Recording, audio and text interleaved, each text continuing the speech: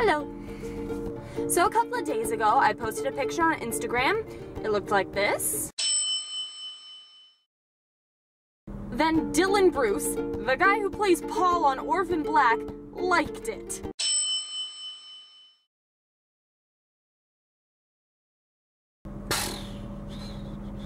I discovered this while I was on break at work, so while I wanted to react this way,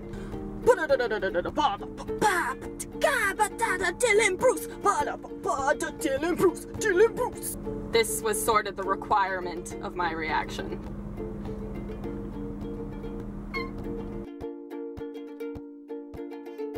I'm not gonna critique it because it's a damn good show, and if you're not watching it already, then you should be. What I'm going to do is tell you what I expect from season two. So here are the eight things I would like brought up in season two.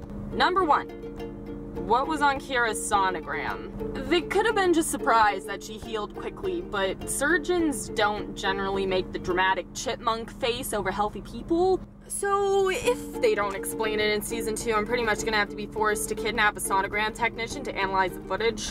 Disclaimer, if a sonogram technician goes missing in 2014, I was just kidding. It, it wasn't me, I promise. Number two, why is Mrs. S called that? Like, seriously, why doesn't she have a real name? It's really off-putting, especially with the season finale. Number three, who is Maggie Chen? That's it. That's that's all I want to know. Who is she? Number four. Why did Beth kill herself?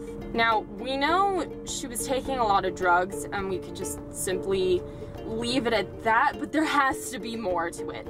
According to the descriptions of her by all the other characters, she was this really strong, brave person. Alison didn't believe Sarah when she said she was dead. Even the way she killed herself kind of took a lot of guts. Like, she didn't hesitate. She just waltzed right in front of a moving train.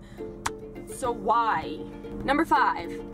Is Sarah the original? She's the only one to have a biological child, and throughout the season, the other characters are just calling her an anomaly, but according to me, and the laws of cloning, clones can't reproduce, so she has to be the original, right? Number six. How do they have a legal patent on the clones when cloning is illegal? And on that note, number seven, how did they not expect Cosima to hack that code? Especially since it was binary. There has to be some sort of ulterior motive thingy. Number eight. How are the clones gonna get Alison out of her contract with the cloning company? As far as I could tell, Alison's kind of SOL right now. Again, if you haven't watched this show already, please do. It's incredible. I think it comes out on DVD in July.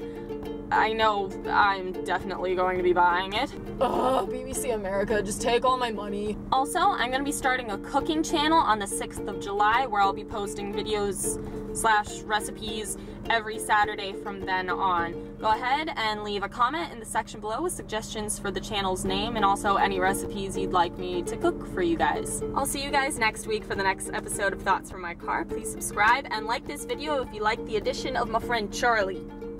Bye.